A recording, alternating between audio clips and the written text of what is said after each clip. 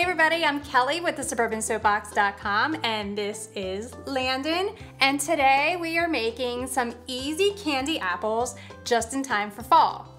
Candy apples are super simple to make. I know everybody knows what a candy apple is, but I'm going to show you how easy it is to make them at home so you can share with your kids.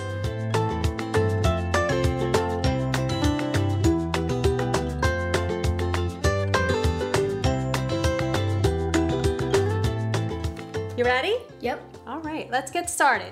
We're going to take a smallish size apple and you wanna use an apple that's pretty firm, juicy, crisp, obviously, as an apple should be. I like to use a Granny Smith apple only because I like the green contrast against the red. Landon prefers a red apple. Just because they're bigger. Yes, because they're bigger. So we're going to take the stem out of the apple. So you're gonna twist the stem out of the apple. If you twist it just a couple times, it comes right I off. do that all the time and I forgot. And then you're going to take a stick. So I got these uh, corn dog sticks and you can get them on Amazon. They're, they come in a pack of like a hundred and they're great for candy apples, caramel apples, corn dogs, obviously. And you're just gonna take the pokey end, super technical term, and push it about halfway through the apple. Got it? Mm-hmm. That's think I probably good. Yeah. Yeah. So one thing to know about apples, if you buy your apples at the grocery store, they're coated in a protective wax and the wax is going to not allow your candy to adhere to the apple. You do have to give them a little bath. In some boiling water. And it's super quick and easy to do. And we just give them a dunk to prep our apples. So once you have the stick in the stem end of your apple, you're gonna take your apple and just give it like a little swirl, kind of like a hot tub for your apple. And just keep it in there for a couple seconds and you'll be able to see like the wax is coming off because the water is like kind of sticking to the apple a little bit more. While Landon is dunking our apples in the water, we're gonna start on the sugar.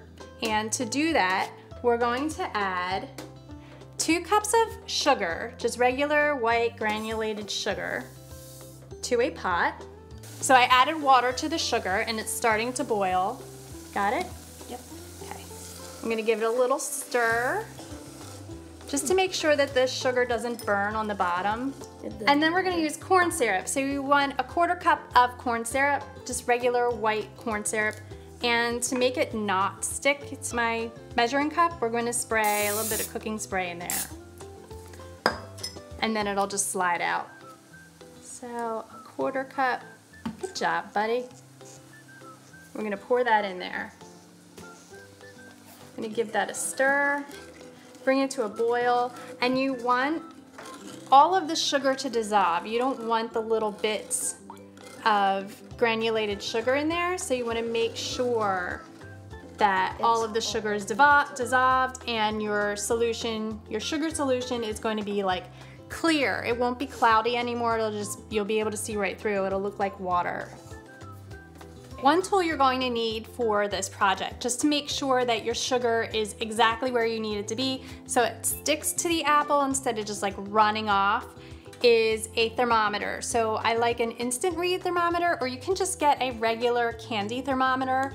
Um, super easy to find. Any cooking store has them or you can get them on Amazon. So you want your sugar syrup to be between 300 and 350 degrees. That is the hard crack stage for making candy. So now Landon is going to put a few drops of red food coloring into the very hot boiling Yep. sugar and not burn himself. Okay. So you How put in drops? put in like four or five. We want it to be like super vibrant red. And I'm gonna stir. That's fine. Okay, that's good. And I think we're good. I think that's a good color. So just note that when you put any type of liquid that's cold into your sugar syrup, it is going to bubble up violently. So you wanna just be aware so you don't burn yourself. Um, try not to put too much in at a time. And then we're gonna turn this off we're good to go. Now that we're ready to dip, we're just gonna, you're gonna dip your apple in and then roll it to coat. So we're gonna put the apple in. I'll, we're gonna do one at a time. And you're just gonna roll it around to coat the apple completely in the sugar. And there's still a lot of bubbles in here, but you can just let them kind of roll off. Or pop. And to let them cool, you need to put them on a baking sheet and line it with either the Silpat mat, like I did here, or you can put down a piece of parchment, but make sure you coat that parchment with some cooking spray or your candy apples are going to stick. Yeah.